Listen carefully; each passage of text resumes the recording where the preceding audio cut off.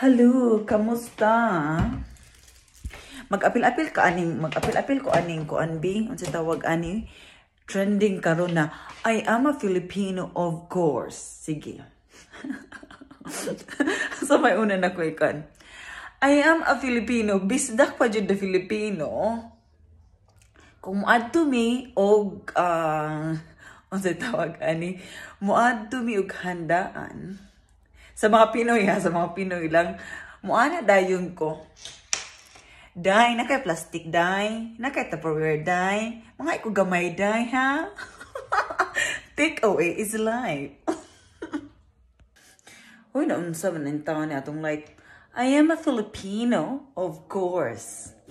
Rice is life. Mm, maglungag ta ha. Para pamahaw. Ay, dili pamahaw pa ni hapon na dahil sa amo. Another entry sa atong I am a Filipino of course. Very proud kayo ko no kapag uli na mo og Pilipinas. But nagpalit ko daghan kaayong bulan. Dried fish. Hmm, kabaho. Pero lami. Pack. Paano kung dried fish? Ano kung dried fish, ha? O yan. Konsumo ni siya sa napo ka tuig. So, dili, na po ka to, eh, di mag-ulig Pilipinas. Mahal, no? Mahal pa masahe? Mahal ang daing? Mungkin hanglan na kay konsumo. So, of course, may daing tayo sa bahay. Kung Filipino ikaw. Ay, nabuang ang tani eh. I am a Filipino, of course. Pag maglagot ko sa akong anak, manggawas ang mga gahi nga Bisaya. Say. Hi!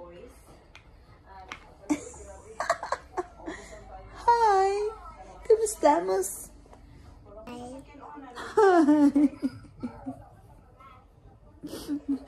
I am a Filipino, of course. Tanaw na ako akong kaugalingong YouTube. Para na additional views. Tinoon na. Atong last entry. I am a Filipino, of course. For now. Last entry for now. Um, naami sa gawas, magsipat akong anak, lami na kayo ibunal. Lami na kayo ibunal.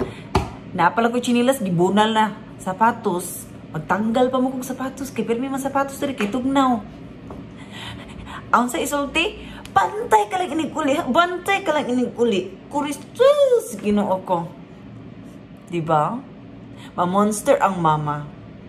Pero ingon man ang akong mother-in-law, bawal mag ano, mga sa, masana, mamunal.